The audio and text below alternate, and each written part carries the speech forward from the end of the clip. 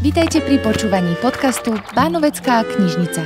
Čo ty a vzťah k poézii? Obľúbil si si možno nejaké básne, keď si bol puberťak? My sme akože tvorili také všelijaké básne už na základnej škole. Sadol som do Fordu Sierra, na sedadlách bola viera.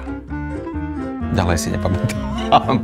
Máš ty osobne nejakú vysnívanú literárnu alebo teda divadelnú postavu, ktorú by si si chcel zahrať? Nemám. Nemáš? Myslíš tak, že by som teda akože chcel hrať Hamlet, taká túžba? Nemusí to byť úplne, že Hamlet, môže to byť aj Macko Uško, čo ja viem, akože... Niečo píska. Či to je vtáčik? Čo spája tvoje tri dnešné ukážky? No nič iné ma nenapadlo, iba humor.